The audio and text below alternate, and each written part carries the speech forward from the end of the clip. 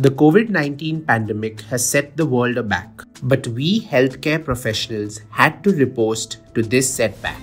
While we fight this global pandemic, the patients and our safety is of utmost importance. It has been well documented that COVID 19 can be transmitted by droplet and aerosol spread.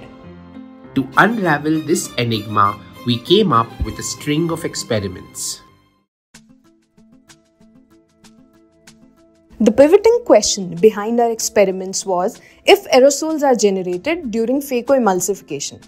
Abundant speculation regarding the same has built fear in the minds of one and all.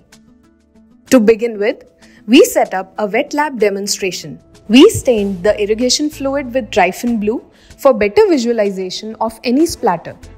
To our surprise, we did not find any visible droplets being emitted during phacoemulsification. But to satisfy our curiosity, we took a step further and collaborated with the Indian Institute of Science, Bangalore, the workplace of Nobel laureate Dr. C.V. Raman. The PhD scholars led by Dr. Basu from the fluid velocimetry team helped us set this up. The vast array of information which could be formulated truly intrigued us. The high-speed, ultra-high resolution camera could capture 20,000 frames per second. With this, even the smallest of aerosols can be picked up. We performed a succession of tests on both artificial anterior chamber and goat's eyes. We played around with different incision and sleeve sizes. We observed that in matched sleeve and incision sizes, there was no aerosols picked up at all.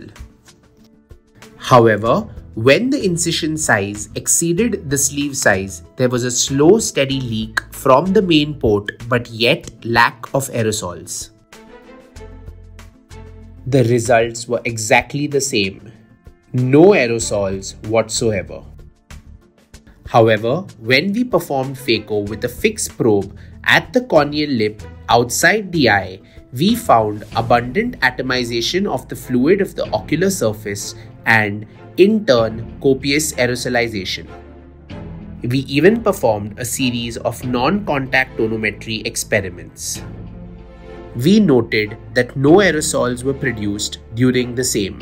However, on instillation of a drop of lubricant prior to the NCT test, minimal aerosols were observed. Having gained immense confidence from this, we decided to proceed with cataract surgery. Even an ultra slow motion smartphone camera could not detect any droplets generated during the same. By proving so, we intend to put the surgeon's minds at ease. To reassure one's protection, we recommend these simple steps.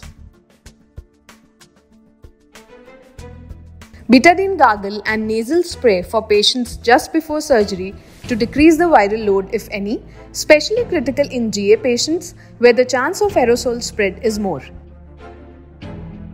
Sanitization after donning and doffing is advisable. Using a sanitization chamber, which if built in-house would barely cost around 15,000 rupees for additional precautions. Since there is a huge shortage of N95 masks, Sterilizing them with ultraviolet C light can be a norm. This also makes it more cost effective. Cover one's feet with a plastic wrap. Use both a plastic and a disposable gown. Assistant to be also provided with protective gear. Use of betadine solution prior to surgery. Plastic covered foot pedals placed as further away from the surgeon as possible to prevent spillage of fluid from the drape. Use of viscoelastic regularly throughout the surgery to prevent spurting of fluid or any aerosol spread.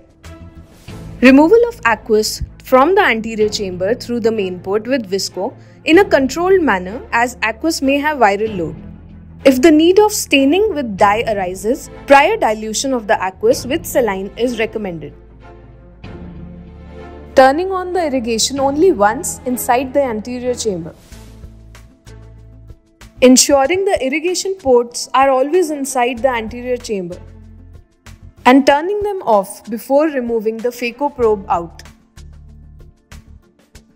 Use of viscoelastic over the wounds to prevent spurting of fluid during hydration of ports.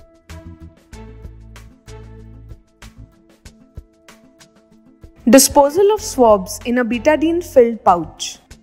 Use of betadine drop after finishing the surgery. Disposal of gloves after sanitization. Rescrubbing between cases. Oxygenation between cases to prevent suffocation when one has a long list of surgeries. Changing the tubings and the handpiece after every case. Cleaning of all surfaces in the OT between cases. Alternatively, using two OTs in high volume setups. Administration of GA in a separate OT if feasible, or waiting for 20 minutes before entering if GA is to be administered in the same OT. Sanitization again after surgery. Use of betadine gargle and nasal spray by the surgeon after surgery. As watery eyes can cause droplet dispersion, we recommend not to perform NCT on such patients or on post-op day 1.